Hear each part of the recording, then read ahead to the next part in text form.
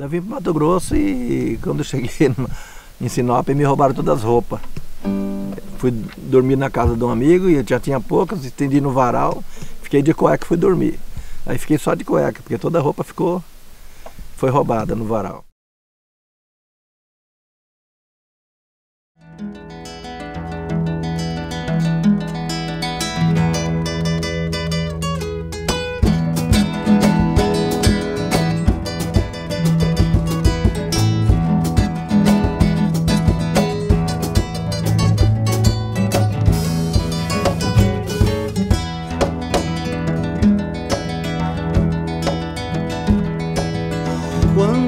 Casa mata, tanto jogo e tanta vida jogada catingueira Comecei a imitar cancão de fogo e voar sorrateiro na caatinga No meu jogo quem perde não se vinga, pois a vida é veloz e passageira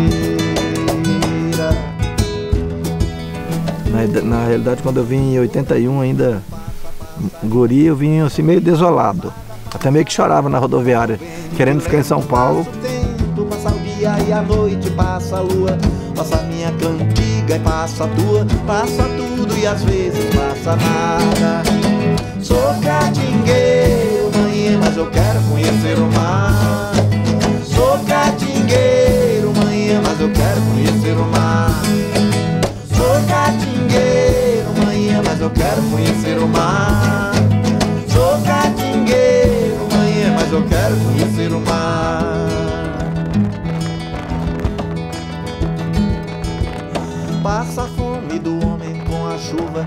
Viagem acontece uma coisa, ônibus atrasa ou não.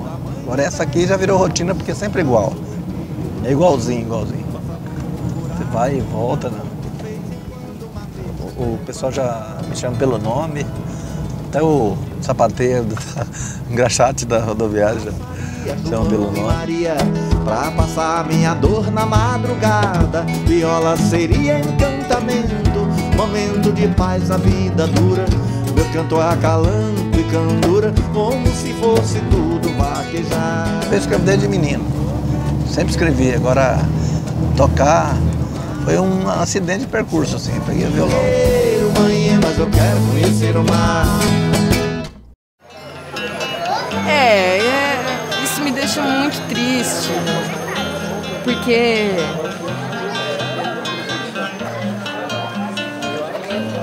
não, sei se pra ele, sabe, mas, mas pra gente que sabe da, da capacidade que ele tem, de como ele é como pessoa, do quanto ele é especial como pessoa e, e como artista, assim, a gente fica eu não sei, eu acho que ele sente isso também, mas a gente que tá de fora, eu que sou filha, e a gente sempre quer que os pais se deem bem, né? Que dê tudo certo na vida deles. Seria muito bom que desse certo na- no que ele sabe fazer muito bem, né? Meu maior medo é que o mundo não conheça Carlinhos Mato Grosso. O mundo não conheça o trabalho dele e o quanto ele é capaz, o quanto ele é inteligente, o quanto ele é especial, como pessoa e como artista.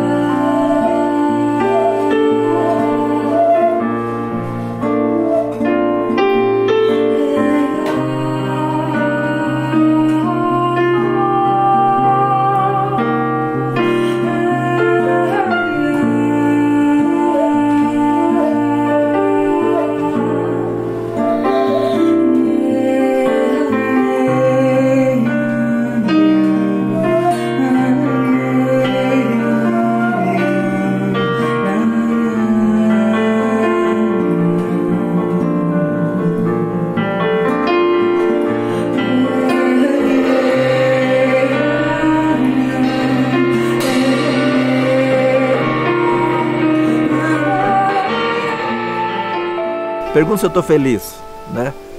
Aí o nego pergunta, eu falo, pois é, não estou tão feliz como eu queria, mas acho que eu sou um cara de sucesso, porque isso tudo me dá satisfação. Não precisa ficar rico.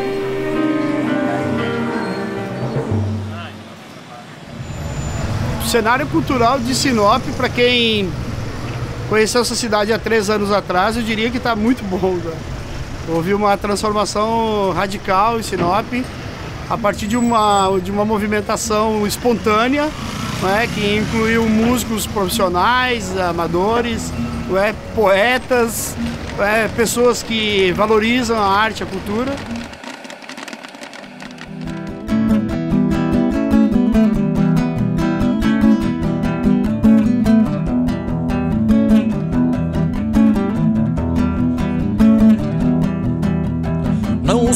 Ouve mais a cabeça, só os gritos do coração. Os instintos, a natureza, no encontro do sim ou não. Entre a sorte e o azar, só na terceira vez foi que tombou ao chão. Só na terceira vez foi que tombou ao chão. Pensar em ser, ser um músico, eu penso todo dia, né? Porque é uma coisa maravilhosa. Só quem vive da música, quer dizer, o cara que vive do que ele gosta de fazer, ele não precisa trabalhar, né? Ele, ele trabalha se divertindo. Ancorar na proa, mas com água pela bunda. O comandante olha com pressa pro horizonte enquanto afunda. Boia, remo, timão. Ainda era domingo e dava pinta de segunda. Ainda era domingo e dava pinta de segunda.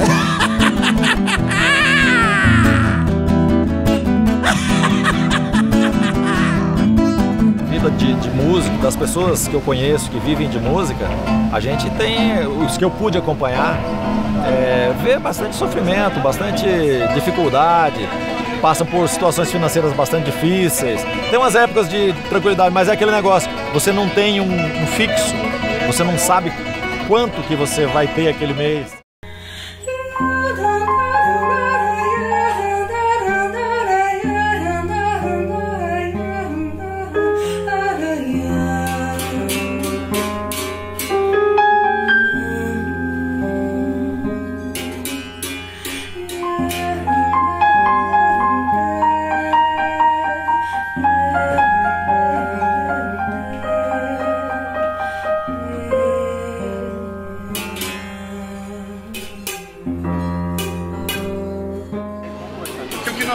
Fazendo aqui nunca foi feito.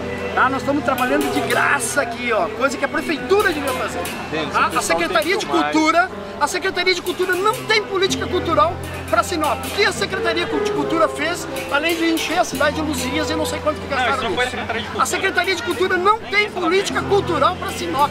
Não tem, não tem.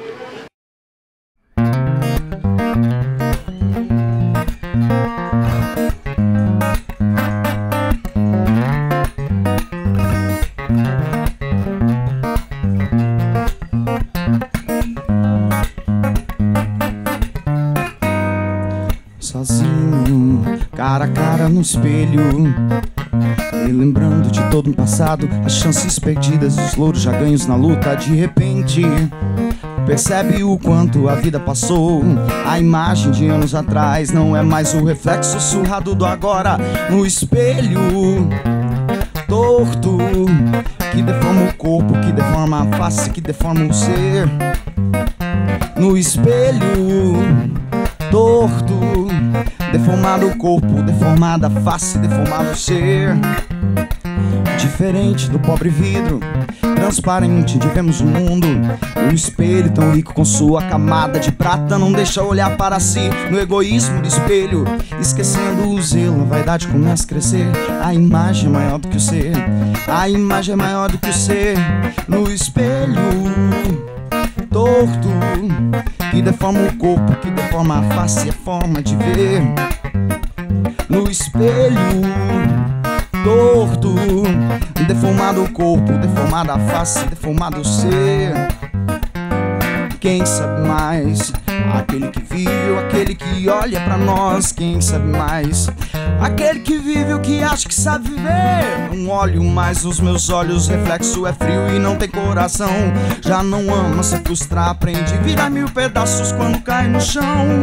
Uou, não, não, não, não, não.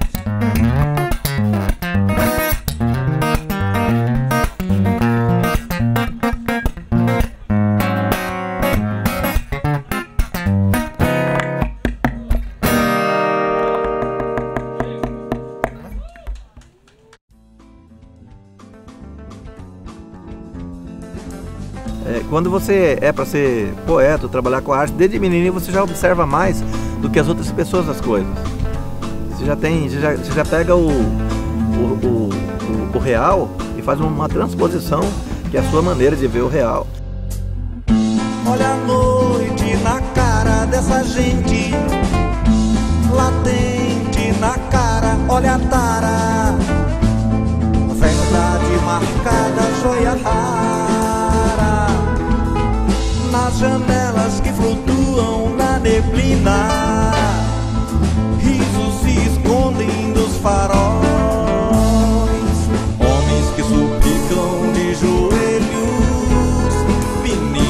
trabalham no vermelho.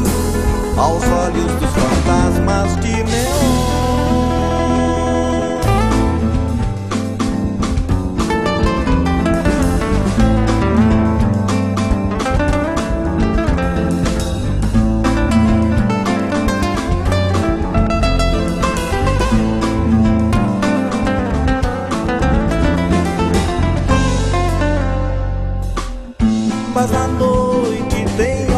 inocentes, carentes, canduras defloradas.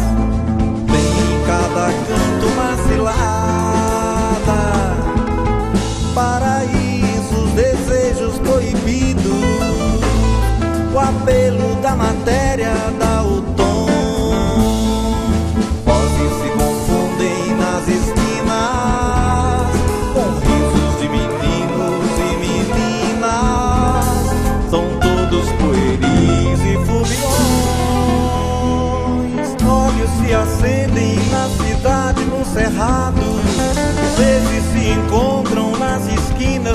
nos cercados.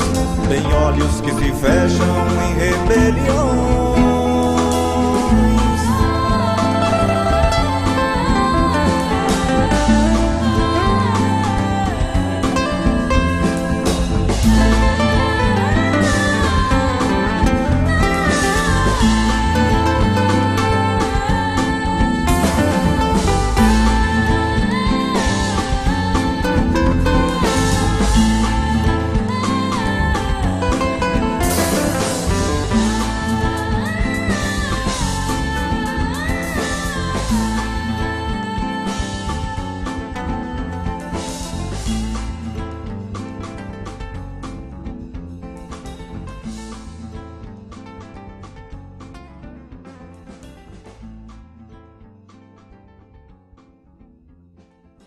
Eu cortei a curtimarrão do meu pai, claro que era uma que tava furada, né, para fazer esse instrumento que eu toco. Uma do Rio Grande do Sul para todos os gaúchos que vão assistir nós.